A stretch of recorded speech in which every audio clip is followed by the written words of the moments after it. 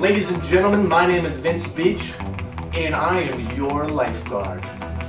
On most days, the two most important things to me are my waves and my babes.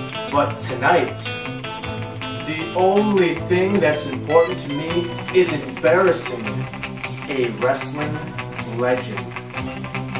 Tonight, I will personally see to it that Hacksaw Jim Duggan's career sails off into the sunset for the final time.